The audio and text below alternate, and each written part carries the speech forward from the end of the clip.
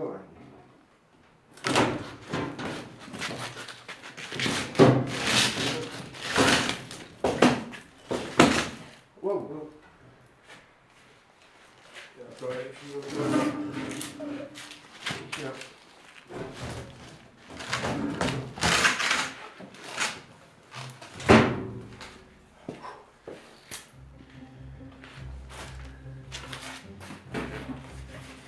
One thingy, bob.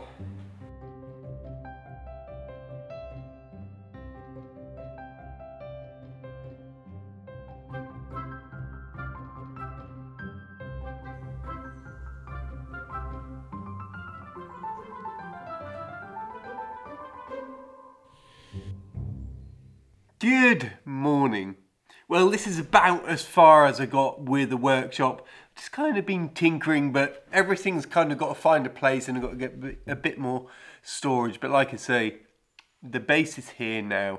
I'm not going to concentrate too much. Over time, I'll just slowly start putting it together. But this is how it's going to work. So this level up here will be like where the workbench is. So this would be like final finishing, assembly, normal day to day kind of stuff, you know. And downstairs, this is going to be where all the big machinery lives the table saw, the big drum sander, spindle molders, stuff like that. It's all going to live down here. So this is going to be like the raw processing, big work kind of stuff. Get all prepped down here, send it upstairs kind of going to work like that. This bit is going to take a while to get together. The machines have all got to be built. We've got to work out all the placement so that the ins and outs all work. We've got enough length and everything. So, yeah, it's coming together. It's nice to have things organised. It's nice to have dry spaces and everything together. The big, big question what's next. Now, we're not short of stuff to do here, but here's what's next on the list. Obviously, we've done the roof now. There's still a little bit of work to do in there. Finishing off the bracing, rebuilding the wall that kind of the roof goes into. But the next thing is getting the next bit of roof on, well, temporary anyway. I've got this bit to finish, which remember I was working on kind of last summer. Ended up stopping that so I could concentrate on the roof. But I've still got one more arch to put in and this floor to finish. And that bit's quite important. One, because, you know, it adds some of the structural strength back to the chateau, but it means we've got another floor in, which then acts as a roof, which waterproofs another bit of the chateau. I put this floor in the turret not so long ago. There's still one more floor to go in here, and then once that's in, we're kind of at the top of the turret. And the plan with the turret is obviously the point is super, super complicated, and there's a lot of rebuilding to do to take the weight of that first.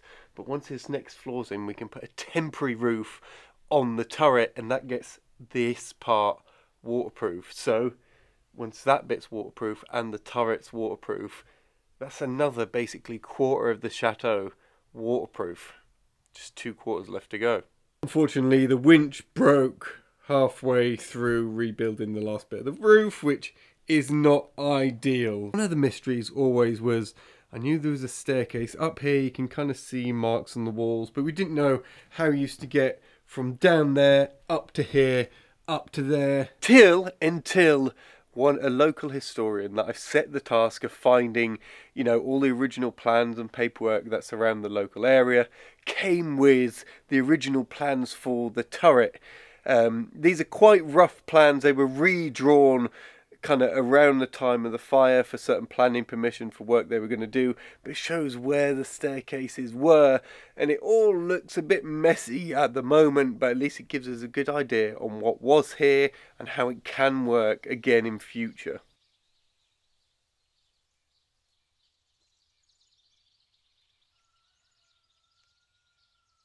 Now, all the rest of the plans for all the other floors are on the Patreon account, and I might show you them kind of as we do the areas, but it's super interesting to find out how things really were, rather than just guessing, you know?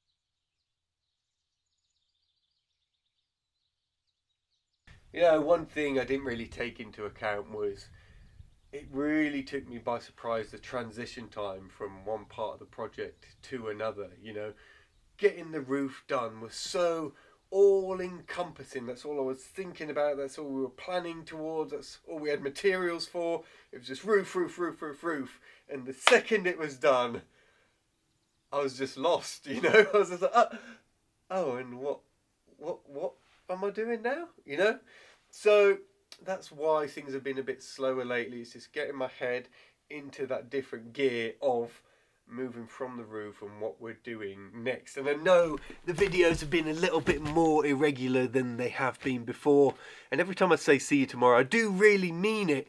And I do plan to, but just the next day stuff gets in the way. Weather, materials, planning, paperwork, having to go to shops, having the kids, all sorts of stuff gets in the way and kind of hinders that. But it will start getting more regular soon. Now I can release my brain of all that roof stuff and, well, I mean, fill it with other roof stuff, but you know, different, different stuff. Uh, yeah, I've got a super exciting thing I'm doing tomorrow. I'm meeting with one of the survivors from the chateau. So that's what a person that was a child here during the war that was saved by the chateau. He's actually gone on to be super, super famous in France. His name's Popek. Um, so I'm going up to Paris to meet him. It's all part of the TV thing. They've kind of organised it. So I'll film a bit while I'm there and I'll kind of film the interview, but I don't think I'll be able to show it until a bit later. But I'll show you kind of me going there and doing that, so I'll have to take it out for that. But it's going to be so interesting to hear accounts of someone that was here at one of the most prominent times of the chateau. Anyway, I'll see you, hopefully, tomorrow.